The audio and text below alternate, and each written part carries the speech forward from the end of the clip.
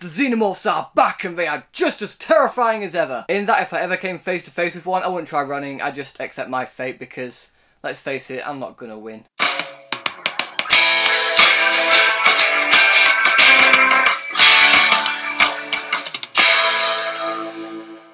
Alien Covenant. So Alien Covenant is the sequel to Prometheus and the prequel to Alien and is once again directed by Ridley Scott, stars Michael Fassbender, Katherine Waterston and Danny McBride. And in this movie we follow a crew of people who are going to a new planet to start colonizing it. However, on their way they discover another planet which could be inhabitable so they decide to look on that planet just in case because it's a little bit closer. After a certain event happened they're not so keen on going back into their sleeping pods. And once they get down to this planet of course, shit hits the fan. Xenomorphs start appearing and killing everyone one by one. And with this being in the Alien universe and the sequel to Prometheus, Prometheus being a movie that I really, really enjoyed, I was very excited to see this movie because there are a lot of questions left unanswered in Prometheus and it was leading up to Alien. And with Ridley Scott at the helm, you can guarantee that this movie is going to look beautiful, and it does, but I feel like that is an understatement in this movie because this movie is genuinely gorgeous. The cinematography in this movie is superb, with Ridley Scott masterfully blending CG, practical effects and set pieces into one to create a world that I genuinely believe is real, that is out there. And because this movie looks so good that it sucked me into its world, I was more invested in the story, I was invested in where these characters were. And this movie does do what I wanted it to do, it did answer a lot of the questions that Prometheus left unanswered. And yeah, when the Xenomorph appears and starts tearing shit up, that is cool to see. However, those are the things that this movie really has going for it, more the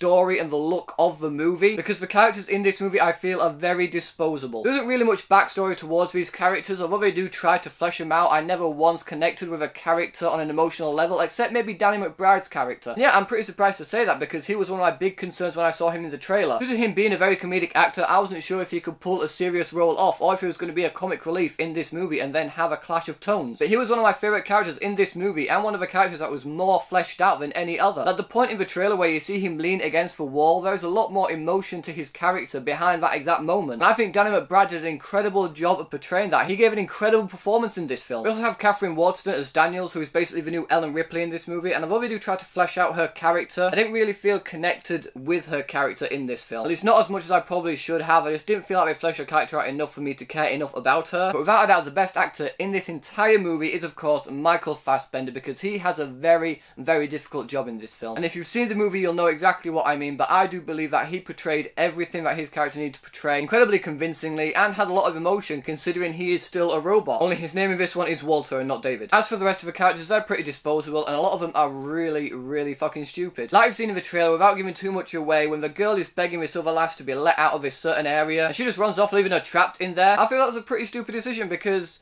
there was so many times she could have let her out.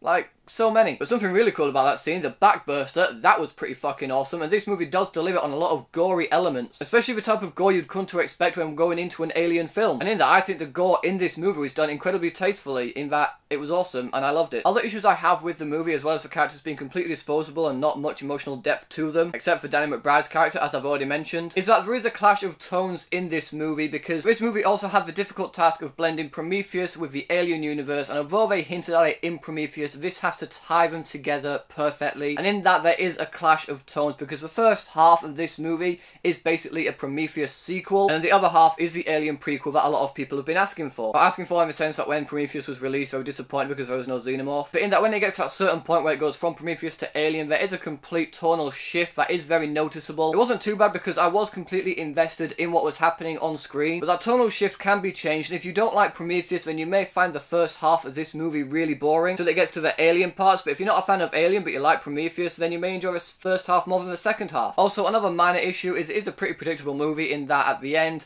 I saw that coming a mile away. But other than that, guys, I love this movie. I had an incredible time in this film. It answered all the questions left by Prometheus, as well as providing a good bridge to the classic Alien movie that we all know and love, or at least know and love if you're a fan of Alien sci-fi horror movies. And because Ridley Scott did such an incredible job in directing this film, the cinematography is absolutely gorgeous. The score as well is stunning. And despite most of these characters being disposable, I did connect a lot with Danny McBride's character, as well as Michael Fassbender, who also gave a fantastic performance. I'll definitely watch this movie again, and definitely recommend it if you are a fan of Prometheus and the Alien franchise. And so for all of that, I'm going to give Alien Covenant four stars.